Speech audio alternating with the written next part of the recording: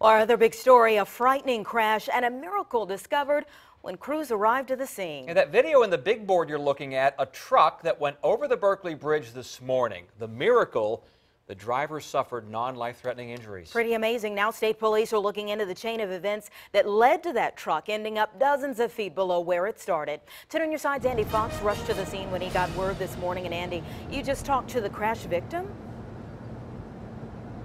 Yes, that's right. It's only on 10. Just moments ago, I spoke with Tyler Semataska, and I asked him about what happened. You'll hear his firsthand account coming up, but he is still waiting to get into a hospital room here at Sentara Norfolk General. He has two broken ribs. He's a little groggy, but he is so thankful to be alive. Here's his firsthand account on what happened to figure out how 20-year-old Tyler Samataska, who is still in the car there, got to this place on the rocks nearly in the water. You have to look up. Eyewitness George Fasella was looking up. I see this vehicle crash into the rocks over here on the riprap and flip back over. Looking up at this 264 bridge, heading east just after the Berkley Bridge, you can see where Tyler hit the concrete barrier. You can see the tire marks on the side, and you can see the dented pole that Tyler hit. He then flipped over the side and plunged 70 feet to the rocks below. Just moments ago, we interviewed Tyler on the phone, who says he was on the way home from the Naval Hospital. As I was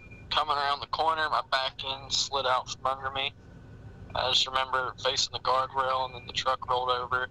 The sparks flying in the windshield at me, and then I remember flipping up on the front end. Then I blacked out there, and I woke up hanging out the window, looking up at the bridge. Tyler was simply wondering how he was alive. Were you thinking about your unborn child? Yes, I was. Tell me about that and the joy that you feel right now in your heart. I'm extremely happy that it's not going to grow up fatherless, and I'm happy that I'm still going to be here to be a husband for her.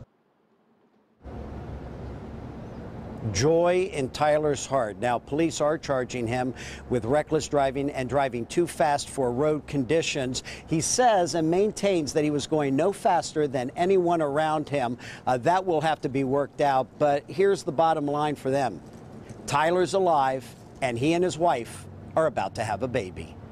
In Norfolk, Andy Fox, 10 on your side.